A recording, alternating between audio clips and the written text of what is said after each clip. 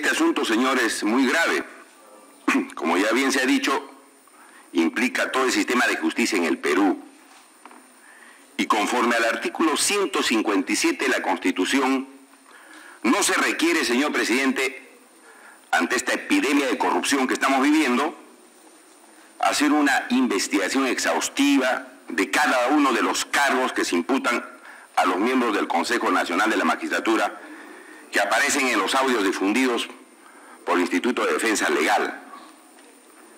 No se necesita, señor, hacer tantas sesiones, porque en la Junta de Portavoces se ha dicho que se ha tenido en cuenta los precedentes en otros casos sucedidos, en el caso del ex miembro del Consejo Nacional de la Magistratura, el señor Anaya, y ahí no se ha pedido ningún informe, señor presidente.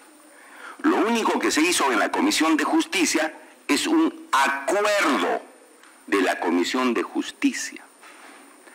Previo informe del presidente del Consejo Nacional de la Magistratura.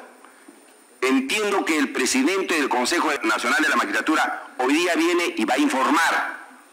Con ese informe, señor, inconforme a estos precedentes, la Comisión de Justicia ya debe pronunciarse.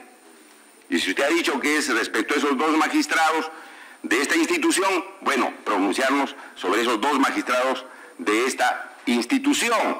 Pero no tenemos por qué hacer tantas sesiones ni convocar a los implicados. Repito, aquí es por causa grave. Es decir, el Consejo Nacional de la Magistratura está sufriendo una severa crisis institucional demostrado con estos audios y con los diálogos de estos señores miembros de este Consejo Nacional de la Magistratura.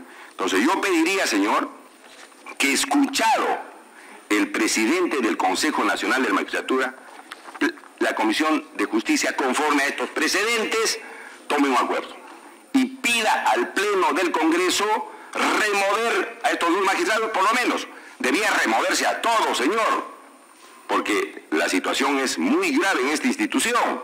Debía removerse a todos. Ese debía ser el acuerdo final de la Comisión de Justicia.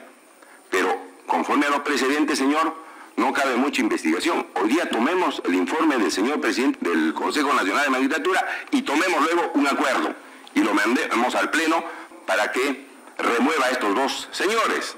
Es lo que corresponde, no corresponde hacer toda una investigación, por ese, porque esa investigación correrá pues en la subcomisión de acusaciones constitucionales, donde sí ya se ha presentado una acusación para ver sus responsabilidades constitucionales o responsabilidades penales.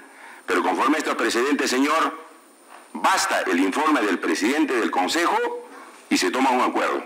Aquí está el acuerdo, señor, que está absolutamente claro. Yo pediría que se reformule el plan de trabajo en ese sentido que usted ha presentado a esta comisión.